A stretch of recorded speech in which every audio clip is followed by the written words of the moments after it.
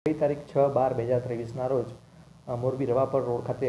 મૈત્રી કરાર કરી રહેતા વર્ષાબેન વાઇફ ઓફ હરેશભાઈ કરમટા, નાઓએ મોરબી સિટી એ ડિવિઝન પોસ્ટે આવી ફરિયાદ જાહેર કરેલ કે તેઓ છેલ્લા બે માસથી મૈત્રી કરાર કરી મોરબી રવાપર રોડ ખાતે રમેશભાઈ નાગર સાથે રહેતા હતા અને બનાવના દિવસે ફરિયાદીશ્રીના અગાઉના પતિ, તેમના સસરા તથા તેમના દિયર એક ઇકો ગાડીમાં અજાણ્યા સમૂહ સાથે આવી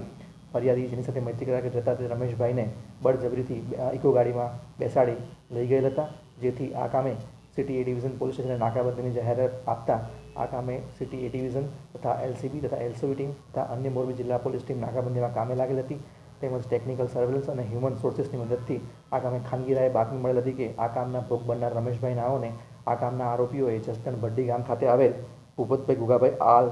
નાઓની વાડીમાં દોરડા વડે બાંધી રાખેલ છે. જેથી અલગ અલગ ટીમો બનાવી, ખૂબ જ યુક્તિ પ્રયુક્તિ વાપરી અને આરોપ ભોગ બનનાર જે છે રમેશભાઈ, તેઓની જાનની સલામતી સચવાઈ રહે તે રીતે આ સ્થાનિક જગ્યાએ રેડ કરતા જે ભોગ બનનાર છે તેઓ મળી આવેલ હતા. તેમજ આ સાથે આરોપીઓ હામાભાઈ, પાંચાભાઈ કરમટા ભૂપતભાઈ ગુગાભાઈ આલ, લાલજીભાઈ વેરસીભાઈ ખાંભલા, ભરતભાઈ જીવણભાઈ કરોત્રા, શક્તિસિંહ મોહમ્મદસિંહ વાળા,